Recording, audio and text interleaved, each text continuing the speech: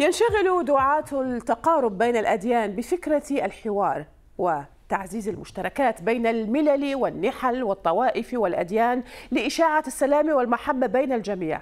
لكن هذه الفكرة قد تصطدم أحيانا بصلب العقائد الدينية وتثير الجدل وقد تأتي بنتائج عكسية. وهذا ما حدث مع القس المصري دوماديوس حبيب إبراهيم الذي أثار موجة انتقادات ضده بسبب ما وصفته الكنيسة القبطية بالسلوك غير مقبول الكنيسة القبطية الأرثوذكسية أصدرت بيانا تبرأت فيه من تصرفات القس دوماديوس بحسب حبيب إبراهيم طبعا وتضمن ذلك عدة نقاط تمحورت حول سلوكه الكنسي غير المرغوب فيه حتى قررت إيقافه عن العمل الكهنوتي في شهر أغسطس اب الماضي وهو القرار الذي لم يلتزم به بل تمادى مؤخرا في تصرفاته المثيرة للجدل وفق بيان الكنيسة. جاء في بيان الكنيسة القبطية تحديدا. هذا الأب أثار الكثير من الأزمات والمشكلات عبر سنوات في كل كنيسة خدم فيها وتنقل بسبب مشكلاته بين عدة كنائس. طوال سنوات حاولت الكنيسة من خلال آبائها حل مشكلاته ومعالجة أخطائه بروح الأبوة. حرصنا على سلامه وخلاصه أو حرصا على سلامه وخلاصه وتم نصحه كثيرا ومنح فرصا عديدة فعلنا هذا بكل صبر وإنات وفي هدوء. بعد تحقيق الكنيسة أصدرت القرارات التالية استمرار إيقاف القس ديماديوس عن الخدمة الكهنوتية منعه من التعامل مع وسائل الإعلام أو التواصل الاجتماعي قضاؤه فترة خلوة روحية في أحد الأديرة لمراجعة نفسه و بالإضافة لإلزامه بالمتابعة لمدة عام وبخلافه يجرد من رتبته الكهنوتية. تضاربت التفسيرات في تعليل سبب صدور بيان الكنيسة وموقفها من القس دوماديوس رغم أنه ما يشكل عليه أو ما يشكل عليه ليس بجديد لكن بعض الآراء رجحت أن تكون زيارته لمدينة مشهد الإيرانية. وكذلك ربما حديثه عن التشابه بين السيد المسيح والإمام الحسين والإمام الحسين طبعا بالإضافة لمشاركته في ذبح أضحية بالتزامن مع عيد الأضحى. ولعل تعزيته بوفاة الرئيس الإيراني إبراهيم رئيسي ومن معه في حادث تحطم الطائرة الرئاسية الإيرانية كانت من بين الأسباب التي أرجع المغردون قرار الكنيسة إليها.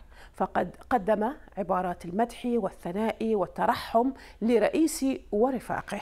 فهناك من يعتقد أن هذه التعزية هي مربط الفرس والسبب الرئيس في تقليب صفحات الماضي للراهب حتى وصل الأمر لقرار الإيقاف الكهنوتي.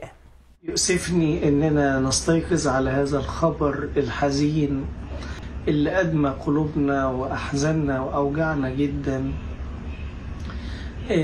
وهو وفاة السيد فخامة الرئيس إبراهيم رئيسي رئيس السلام رئيس الحب الذي لم تحدث في أيام رئاسته أي حروب ويكفيه فخرا أن يقف أمام الله أنه بيعمل سد للخير رغم أن يمكن في مناوشات بين أذربيجان وبين إيران ولكن آخر حاجة عملها سد للسلام ويدي مية حتى لأعدائه. مستخدمو وسائل التواصل لم يفوتوا هذه القصة دون أن يبدوا ببعض الآراء حولها. كان التفاعل غزيرا ولكن اختاروا منه هذه التدوينات. حيدر فوزي يقول حكمة من قداسة البابا في غدارة مثل هذه الأمور لكن أرجو عند اختيار الأب الكاهن أن يكون على ديار راية وعلى حكمة كبيرة ويخضع لبعض الاختبارات علشان بعدين ما يتكررش نفس الموضوع. أما ماجد ماجد نظيف يقول كله تمام كويس ورائع لكن البند رقم ثلاثة غير مريح بالمرة. هذا رأيي الشخصي. وأعتقد أنه رأي الكثيرين أنه رأي الكثيرين فالأديرة ليست سجونا. ومن مهمتها أو من مهمتها أن تكون أماكن لقضاء فترة عقوبة. أخيرا عماد بشري يقول صدقني يعلم ربنا يا بختك حد يطول حياة وعيشة الدير دي هتبقى أحلى سنة في حياتك. بس يا ريت ما يكونش النشر ده غلط عليك. رد القس دوماديوس على البيان البيان الكنيسة طبعا. بشكر قداسة البابا عبر منشور على فيسبوك وهذا ما قاله. طلبت من اللجنة المجمعة أن ترتب لي لقاء مع لقاء أبوة أنتظره من قداستك منذ 11 عاما حتى الآن منذ 2013 وما زلت أطالب بهذا اللقاء حتى النفس الأخير. اسمح لي أبي قداسة البابا بلقائك لمدة نصف ساعة لأجل سلام الكنيسة وبنيانها. وأنت تعلم جيدا مدى غيرتي وحرصي على وأن هذا البيان لتهدئة الرأي العام الذي تعلم أيضا من أثاره ضدي كان القس ديماديوس قد نشر عدة فيديوهات قبل أيام عبر حسابه على فيسبوك للرد على بعض المواقف التي أثارت الجدل حوله وهذا ما قاله السؤال الأول أنت مشلوح ولا لا؟ مش مشلوح ولا موقوف لسه مصلي النهارده الصبح قداس لأولادنا في الثانوية العامة وأنزل لكم الصورة في التعليقات.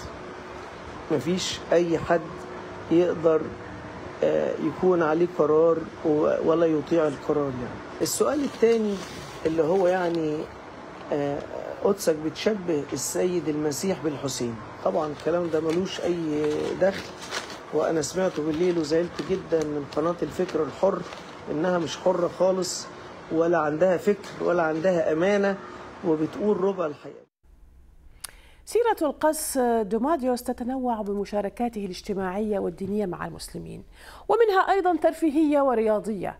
أيضا مثلا لعب البولينج أو البلياردو.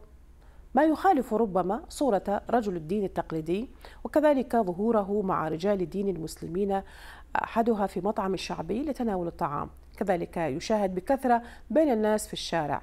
تصرفات القس يؤيدها بعض ممن يروه رجلا منفتحا وبين من يعتقد أن تصرفاته لا تتلائم فكرة ومضمونا مع رجل الدين.